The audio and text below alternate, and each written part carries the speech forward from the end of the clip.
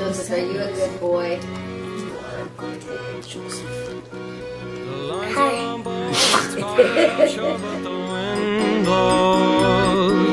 the children are here, but the women just stare from the windows.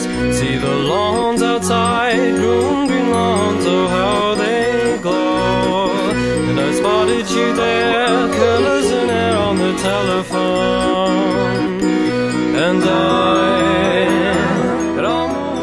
Lives. Because it's going to be a movie. Do you have anything to say, Benjamin?